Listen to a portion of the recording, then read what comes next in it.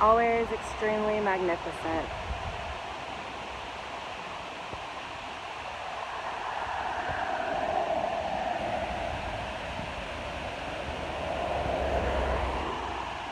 that false reality is just desperately trying to stay anchored, but it won't be long now before all of their tactics just stop working.